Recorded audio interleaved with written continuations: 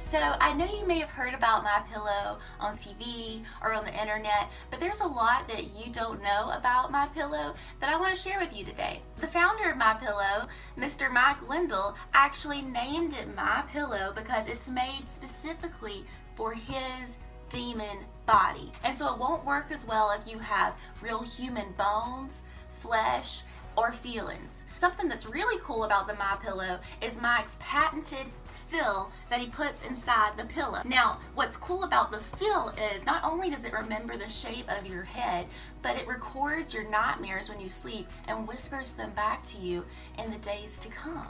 Now, how's that for pillow talk? Now here's a tip.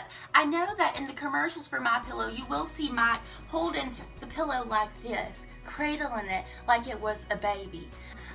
I would suggest not doing that because when you do, the pillow starts to scream and only you can hear it. Only you can hear it. And so, um, don't cradle your my pillow. That's just a tip for all you mamas out there.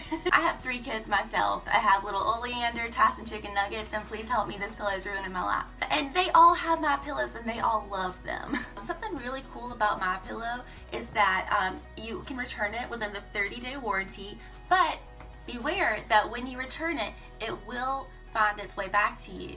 I don't know how. Anyway, y'all, that's my review. I hope you all get my pillows because it's the best decision I ever made. I love my pillow. I'm sorry, I'm sorry, I'm sorry.